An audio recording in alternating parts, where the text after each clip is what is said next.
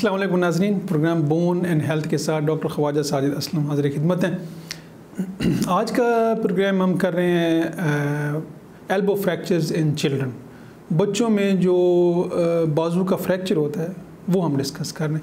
क्योंकि ये one of the most common fracture है all over the world Pakistan नहीं पूरी दुनिया में आप यूरोप वेस्टर्न किसी कंट्री में चले जाए ना जहाँ जब स्कूल की छुट्टियाँ होती हैं तो तब आपको ये वाले बच्चे इस फ्रैक्चर के साथ ज़्यादा मिलेंगे। क्योंकि छुट्टियाँ होती हैं स्कूल में तो बच्चे खेलने के लिए जाते हैं जब वो गिरते हैं किसी प्ले एरिया में तो, तो सबसे ज़्यादा कॉमन फ्रैक्चर जो है वो एल्बो का होता है। तो इसीलिए ये प्रोग्राम हमने किया कर रहे हैं ताकि लोगों में आवाम में ये अवेयरनेस पैदा हो कि ये फ्रैक्चर अगर है तो इसको कैसे ट्रीट किया जा सकता है। जब बच्चा गिरता है तो सबसे पहले चीज़ आपको जो नज़र आएगी वो स्वेलिंग नज़र आएगी। सोज होगी, हो जाएगी वहाँ पे। बच्चा पेन की कंप्लेंट करेगा, उसको मूव नहीं कर सकेगा। मूव करेगा तो बहुत ज़्यादा दर्द होगा। अच्छा जिन ममालिक में या जिन एरियाज़ में लोगों में शूर की कमी है या पब्लिक अवेयरनेस नहीं है तो वहाँ ट्रेडिशनली लोग करते क्या हैं कि जब सोजन हो जाती है चोट की वजह से, बच्चे को या एडल्ट को, किसी को भी तो सबसे पहला काम वो करते हैं, वहाँ पे मालिश करना शुरू कर देते हैं।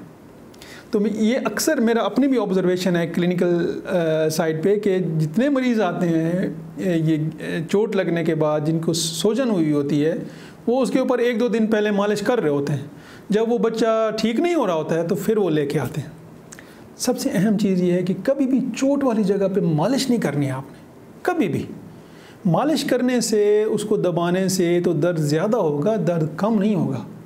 तो इसलिए कभी मालिश नहीं करनी उसके ऊपर। हाँ उसके ऊपर आप बर्फ़ की टकोर कर सकते हैं। बर्फ़ को कपड़े में या तौलिए में लपेट के उसकी टकोर कर सकते हैं ताकि सोज, सोजिश भी कम हो और दर्द भी कम हो। ठीक है?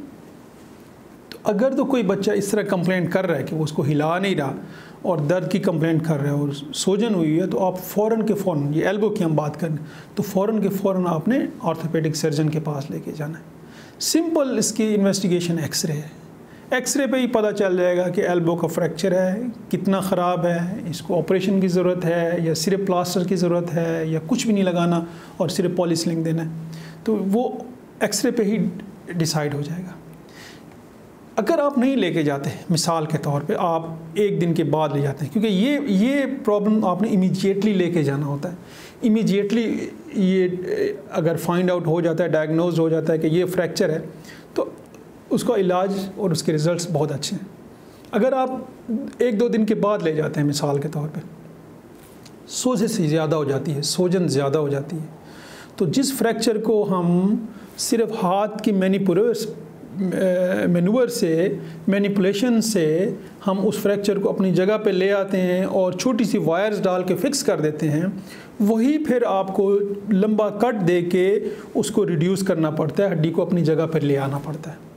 तो आपके लिए भी मुश्किल होगी, सर्जन के लिए मुश्किल होगी, क्योंकि बड़ा कट होगा इन्फेक्शन के चांसेस ज़्यादा होंगे, दर्द ज़्यादा होगा, बाद में टांके भी निकलेंगे। लेकिन सिर्फ़ हम पिन जो डालते हैं, उसमें समटाइम्स हम टांके भी नहीं लगाते। तो इसलिए ये बड़ा अहम है कि फ़ौर के फ़ौर ले जाएँ। तो इसका ऑपरेशन भी कोई बड़ा ऑपरेशन नहीं है। बज़ दफ़ा तो अगर ये डिस्प्लेस नहीं है फ्रैक्चर तो हम सिर्फ़ प्लास्टर लगा देते हैं। वो उम्र के हिसाब से हम डिसाइड करते हैं, तीन चार हफ़्ते के लिए प्लास्टर लगा रहता है। और उसके बाद ये अपनी जगह पे जुड़ जाती है। अगर ये ज़्यादा डिस्प्लेस्ड हो, फिर हम वायर्स पिंस डाल देते हैं। अगर आप ऑपरेशन नहीं कराते आप कहते हैं जी, नहीं, हमने कुछ भी नहीं करना है इसका तो ऐसे कैसा रहे? तो क्या प्रॉब्लम हो सकते हैं? ये डिपेंड करता है कि फ्रैक्चर कितना बुरा और कितना डिस्प्लेस्ड है। ये वायरस डिफॉर्मेटिव में भी जा सकती है, आपकी एल्बो टेढ़ी हो सकती है, आप बाजू सीधा ना हो, टेढ़ा हो। अगर ज़्यादा डिस्प्लेस है ये भी पॉसिबल है कि आपका बाजू फ्लेक्स और एक्सटेंड ना हो, सीधा और बंद ना हो तो फिर आपको खाने खाने में, आपको शावर लेने में, आपको डेली रूटीन एक्टिविटी करने में प्रॉब्लम हो। बच्चों की बोन्स डेली के हिसाब से बढ़ती हैं। एवरी डे एवरी वीक नहीं एवरी मंथ नहीं एवरी डे तो इसलिए जब वो फ्रैक्चर होता है तो जिस जगह पे हड्डी पड़ी होती है, वहीं पे जुड़ना शुरू हो जाती है। तो इसको कभी भी निगलेक्ट मत करें। सिंपल इन्वेस्टिगेशन एक एक्सरे है, और उसके बाद डिसाइड हो जाता है। कभी भी अपनी और अपनी फैमिली की सेहत को निगलेक्ट मत करें।